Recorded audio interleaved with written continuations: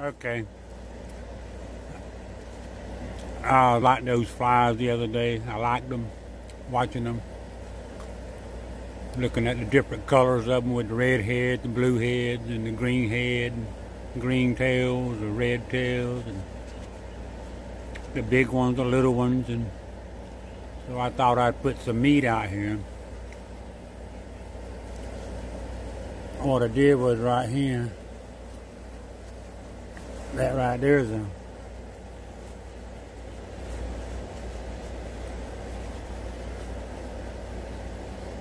that's a cinnamon roll. I just made some cinnamon rolls out of the oven. And that was what's left over out of one of my cinnamon rolls. And I had some cinnamon left on, I mean some uh, icing. I put some icing on there and I put those bones out there. And that's beside the bones is out here beside my sweet potato and my russet potato. But I noticed that the bones was getting a lot more flies than the, the potatoes was. So I'm just going to record them. Just sit back and watch the uh, flies eat the chicken bones, that chicken legs right there.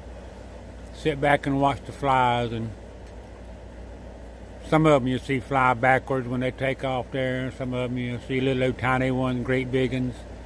Okay, I'm going to move. When I move, watch them.